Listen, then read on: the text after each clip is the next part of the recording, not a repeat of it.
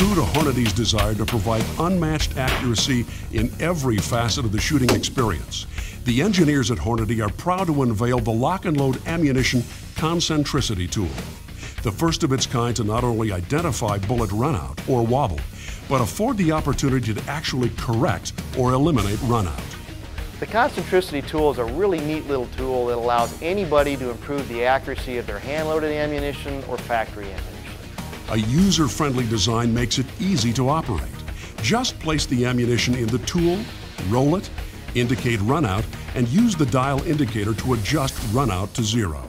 We've had prototypes of this tool in the hands of match shooters for several years now, and they all just rave about it because it allows them to adjust their ammunition to achieve the best possible scores they can get even at long ranges, 600 and 1,000 yards. Not only is this tool great for hand loaders, but non-hand loaders can use it to true up factory ammunition as well. You now have a tool that allows you to adjust the run out of your ammunition to zero and achieve the best possible accuracy you can get.